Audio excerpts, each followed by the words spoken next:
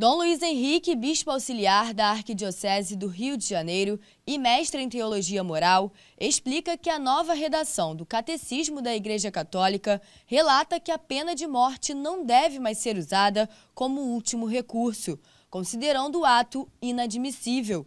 Para ele, a decisão do Papa Francisco é um belo ensinamento sobre o valor e a dignidade do ser humano. Os papas anteriores sempre pediram, mesmo em teoria, falando o catecismo que é possível a pena de morte, mas os papas sempre pediram clemência para os governantes desses estados que ainda têm a pena de morte.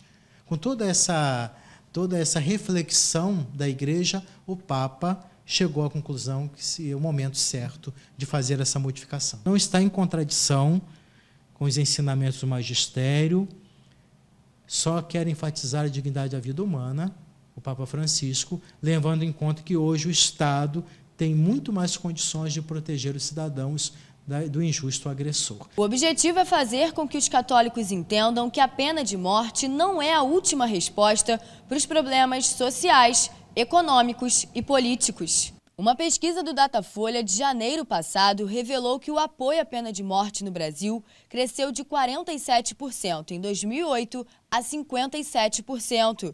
Para Dom Luiz Henrique, esse dado mostra a preocupação do povo com o alto índice de violência. Mas, segundo ele, é preciso atingir a raiz do problema. O porquê de toda essa violência e o que, que o Estado está fazendo para debelá-la.